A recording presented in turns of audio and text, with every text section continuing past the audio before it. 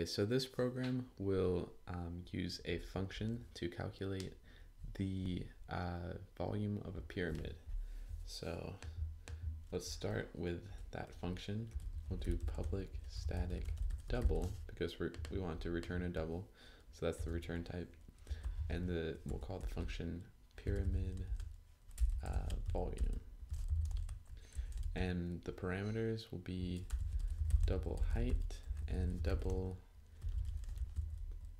base length. So these are the arguments that you'll need to pass. And let's see. We'll do double base area equals base length times base length. So you're just uh, getting the the square of that because and then you'll return the height times base area divided by 3. So that's just the the uh, um, volume uh, formula for a pyramid.